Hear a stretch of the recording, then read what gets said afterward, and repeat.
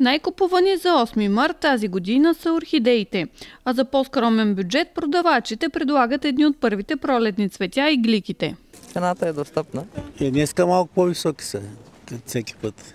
Все пак трябва да се купуват цветя. Предполагам, че горивата, щом са увеличени и всичко друго се увеличава. На някои са двойна цена, на други по-малко, но всичко е нагоре. Най-много орхидеи май предпочитат мъжете. Те и дамите ги харесват и цената им е добра.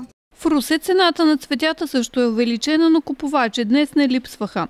Според цветарите в край Дунавския град мъжете остават традиционалисти и основно купуват рози. За баба ми, за приятелката ми също съм взимал, но той е друг малко по, по-добре. И мисля, че са добре.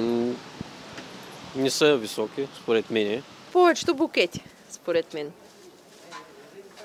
И розички, карамфили, всеки различно.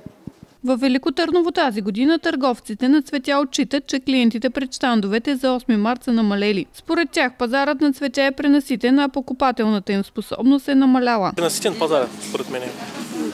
Или хората намаляват с всяка година, или пазара има голямо предлагане. Част от тях не са увеличили цените на букетите и пролетните цветя на върх празника, тъй като смятат, че това съвсем ще доведе до отлив на клиенти. Цените варират в най-различен диапазон от 3 стръка нарциси за левче през китка зюмбюли за 2 лева до стрък роза за 7 лева. Ефектните големи букети с цени от 15 и 20 лева, но търговците признават, че те рядко се купуват. Сега 30 стотинки един нарцис. Деца купуват, мъже, жени, възрастни баби и възрастни мъже.